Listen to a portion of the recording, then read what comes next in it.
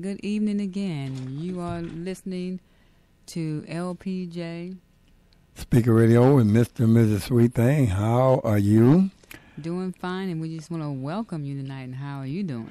I'm doing fine. Now, how are you all doing? Fine, I hope. We've had another blessed day, and I tell you, God has been good. He's been good. He's seen us all through this day, and we're here on another night to praise Him, raise His name up, thank Him, just thank Him for everything He's done. I tell you, because this year is just about out of here. Yep. And God has blessed us to see this year just about to go. And I tell you, that's, that's a blessing. Whether you know it or not, it is a blessing. There's plenty of people that have not had the opportunity to see this year leave. Right. And you and I, we have had this opportunity so far to see this year leave out of here. So we, we've been blessed. Yes, we have, and we just truly want to thank you for joining us tonight. The title of the show tonight, again, if you joined us for the last two nights, the first night we talked about love, what love is, and love is patient. Second night, love is kind.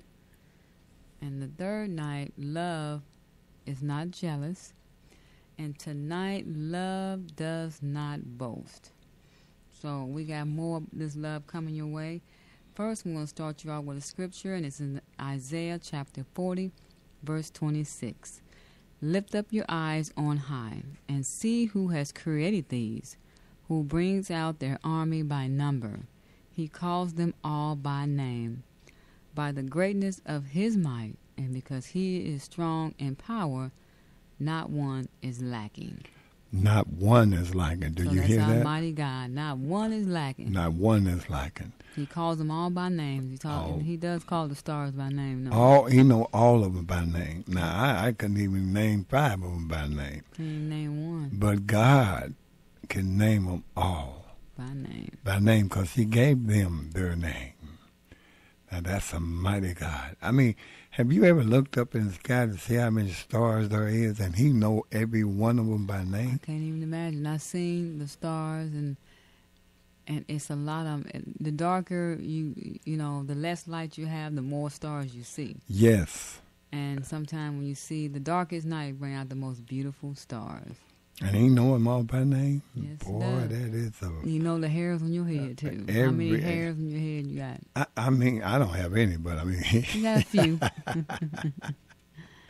Uh, but I tell you, man, that is a mighty God. I tell That you, we mighty serve. God, that we Yes, serve. That is. is a mighty God. And we truly, you know, just like you said, this year is about gone. The Lord has blessed us. So many things that happen all year long, and we just want to thank the Lord for the last three hours that He is blessing us to again do another show to let the world know about Christ. Yes, yes. To let him know about Christ. You know, it, it, it, it, it's wonderful that we can worship Yes, free, free, Free freedom to worship. free to worship. That's not going to always be people. No, in some places you're right, it's not free now. And we're not going to always have the right and freedom to worship. Better do it where you can. That's right. You better do it where you can because it's not going to always be. Better get him now so when that time comes, you can still do it. You can still do it. Right. Do it in your heart. Yes. You heard that right here on LPJ. And that is love, peace, and joy.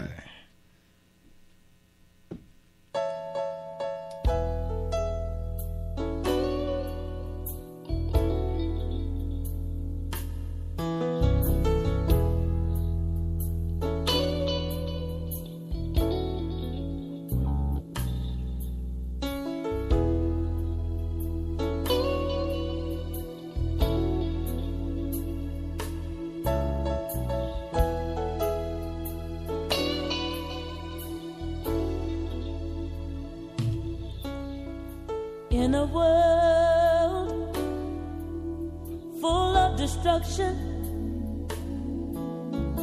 in a world where men don't believe. All the Christians are striving, trying to make it, and the devil is always busy trying to destroy and to deceive.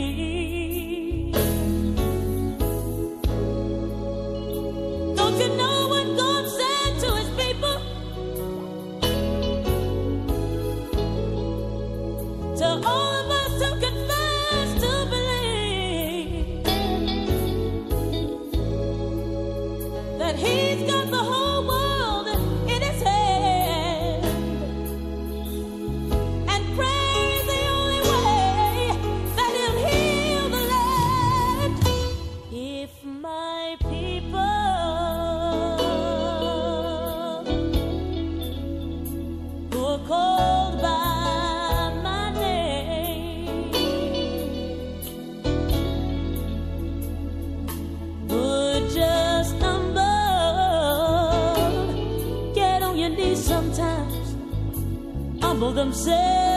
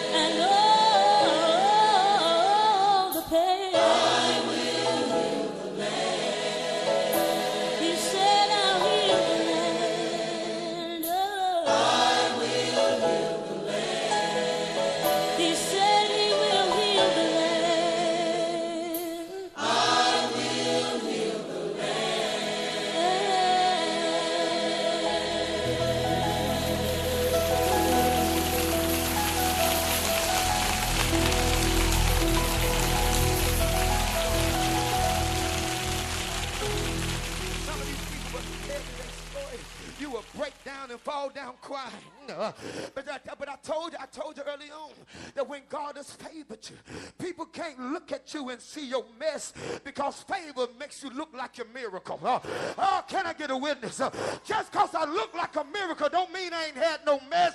It's just that when the hand of God is on you, he covers up your hurt by giving you hope. So he's at the pool. Pulled over. He's damaged, Doc. He's sad, he's sorrowful. There by himself at the pool. Then here comes the sermon to the text. The Bible says that Jesus saw him. I know a lot of church folks may not like this, but here we go. We've convinced people that you get blessed when you run to Jesus. Truth of the matter is, sometimes Jesus will run to you. There's nowhere in the text where the man called on Jesus. He ain't called on Jesus. Jesus called on him. Y'all ain't ready for me. I stopped by to tell you, it's some people that when the Lord get ready to bless you, he ain't got time to wait on you to call. He gonna run in and do what he gonna do because he just want to have you blessed. Look at somebody say, I didn't deserve it. I didn't do nothing to get it. He just wanted me to be blessed. Some of y'all trying to sit there and pretend. You trying to pretend like you fasted 40 days. You trying to pretend like you prayed seven times a day. Spoken tongue, yo. The devil is a lie. That ain't what happened. You woke up one day and God decided that he was going to do something for you that he didn't do for your sister, your brother. You ought to give God praise that he looked beyond all your faults and blessed you in spite of yourself. Somebody holler, I didn't deserve it.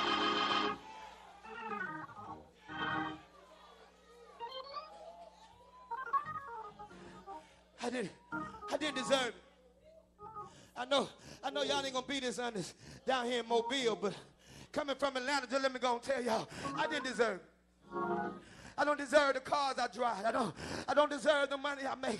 I don't deserve it. But I serve a God that gave me what I desired and kept from me what I deserve. If it was, if it was based on my track record, I would have been dead a long time ago.